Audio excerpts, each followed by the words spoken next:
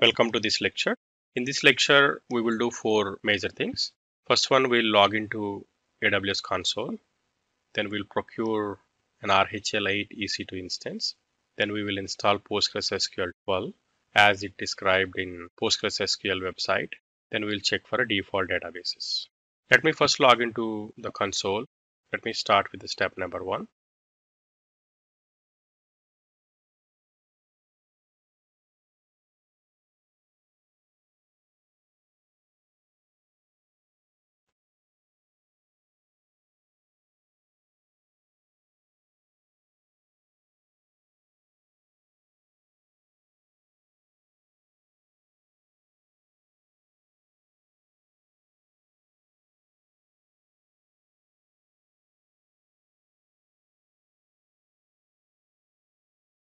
I already have my key pair.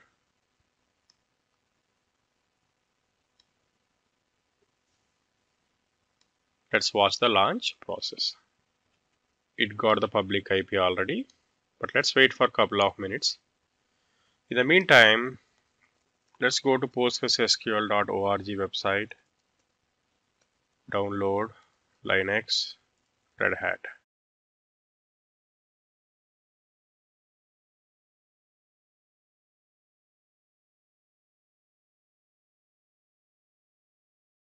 Let's use the steps detailed here to set up PostgreSQL through this RPM. My instance state is running. Let me take this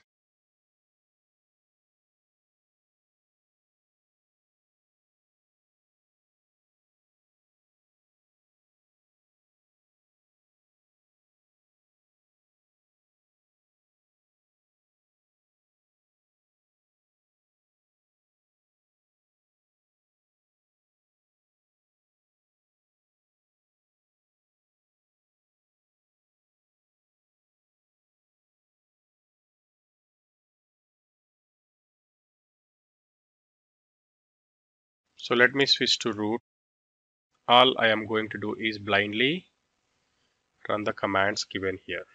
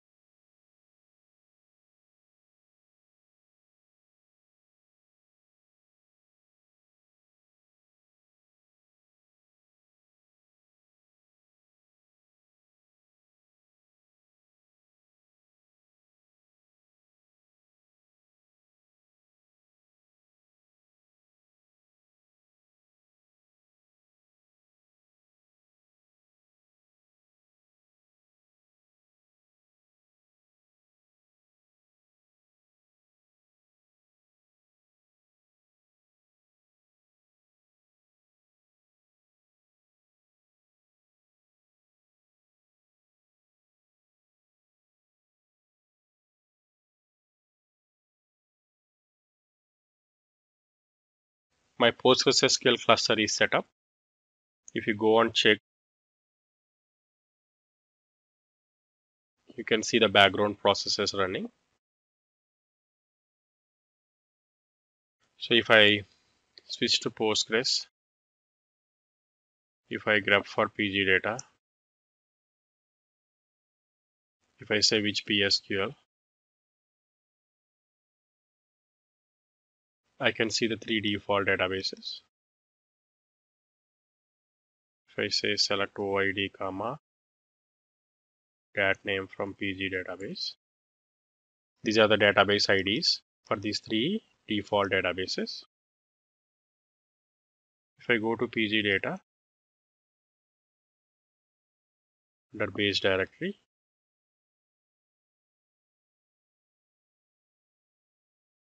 you can see those three directories. This one is associated with template one. 13446 is for template 0. 447 is for Postgres database. If I go back to my notepad, we logged into console. We created an EC2 instance. Then we installed PostgreSQL 12 and we did check default databases.